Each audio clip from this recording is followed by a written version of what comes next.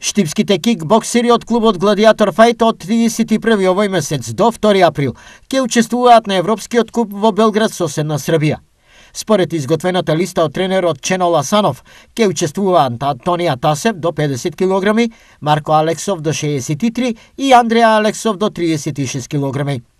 Учесниците на купот доаѓаат и од домаќините Србија, потем Босна и Херцеговина, Грција, Турција, Белгија, Романија, Бугарија, Албанија, Германија, Холандија и Полска.